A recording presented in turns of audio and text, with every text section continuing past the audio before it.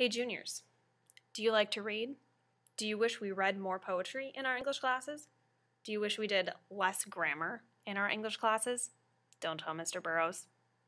Then maybe you should take AP Lit next year. Do you want college credit that can transfer to pretty much any school and is recognized as an amazing program throughout the country and the world? Then maybe you should take AP Lit next year. Right now, we don't have enough people to fill the class, which is really sad for those of us who want to take it. I'm going to be teaching it, and I am super excited to talk to you about Gatsby and Dracula and a bunch of other amazing literature and how to write about it. So think about your schedule a little bit and take the challenge. Some of the most challenging things in life are also the most rewarding. I'd love to see you in AP Lit.